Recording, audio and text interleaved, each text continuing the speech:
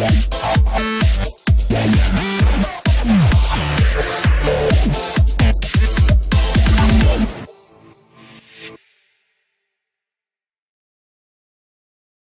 to ban users from your YouTube channel. Open your favorite browser. Go to youtube.com. Click sign in button at the top right corner of the page. Enter your email address and password. Click sign in.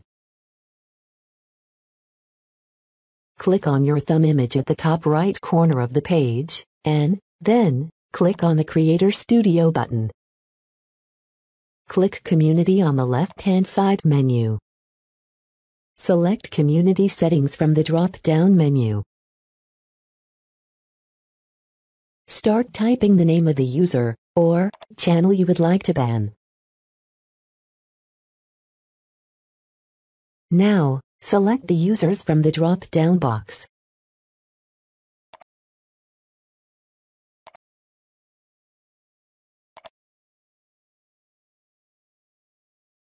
Click Save to apply the changes. Now these banned users can't comment on your videos or channel, and they won't be able to contact you through private messages either. This is how you can ban users from your YouTube channel.